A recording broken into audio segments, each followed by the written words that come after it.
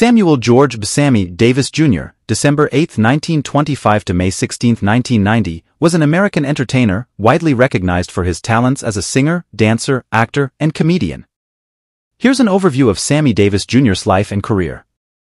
Asterisk Early Life Asterisk Sammy Davis Jr. was born in Harlem, New York City, to Sammy Davis Sr. and Elvira Sanchez.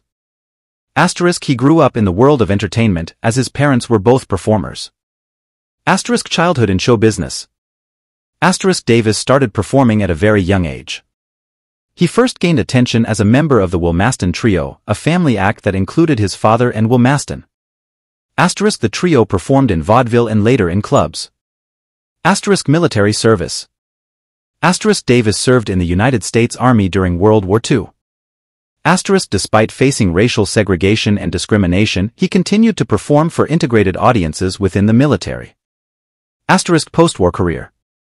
Asterisk after the war, Sammy Davis Jr. continued his entertainment career. Asterisk he faced challenges due to racial prejudice, but his talent and charisma eventually led to breakthroughs in the entertainment industry. Asterisk music career. Asterisk Davis had a successful music career, recording numerous albums and achieving hits such as What Kind of Fool Am I and The Candy Man. Asterisk he was known for his versatility, singing various genres, including pop, jazz, and rhythm and blues. Asterisk acting career.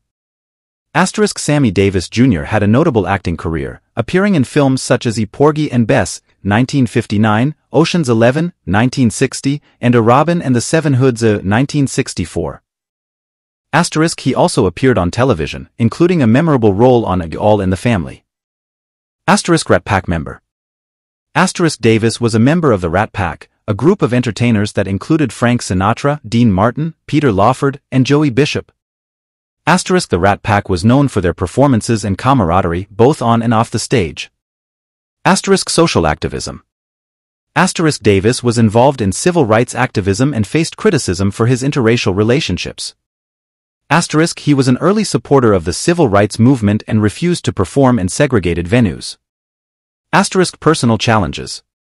Asterisk Davis faced personal challenges, including struggles with racism, substance abuse, and health issues. Asterisk despite these challenges, he remained a resilient and influential figure in entertainment. Asterisk legacy. Asterisk Sammy Davis Jr. is remembered as one of the greatest entertainers of the 20th century. Asterisk his contributions to music, dance, and acting continue to be celebrated, and he left an indelible mark on American entertainment. Sammy Davis Jr. passed away on May 16, 1990, leaving behind a legacy of groundbreaking performances and a significant impact on the entertainment industry.